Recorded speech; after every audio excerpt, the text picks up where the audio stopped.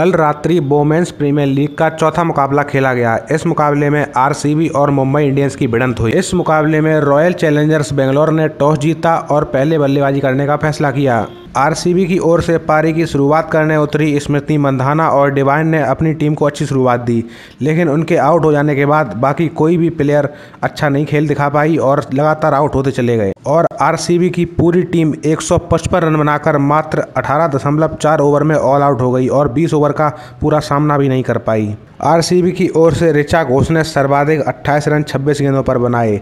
वहीं एक सौ छप्पन रन के लक्ष्य का पीछा करने उतरी मुंबई इंडियंस की टीम की ओर से हैली मैथ्यूज ने शानदार बल्लेबाजी की और ताबड़तोड़ 38 गेंदों पर 77 रन की पारी खेली। मैथ्यूस की 77 रन की शानदार पारी की बदौलत मुंबई इंडियंस ने एक सौ छप्पन रन का लक्ष्य मात्र चौदह दशमलव दो ओवरों में ही हासिल कर लिया और नौ विकेट से इस मुकाबले में जीत हासिल की। वोमेंस प्रीमियर लीग का आज पांचवा मुकाबला दिल्ली कैपिटल्स और यूपी के बीच शाम साढ़े सात बजे से खेला जाएगा।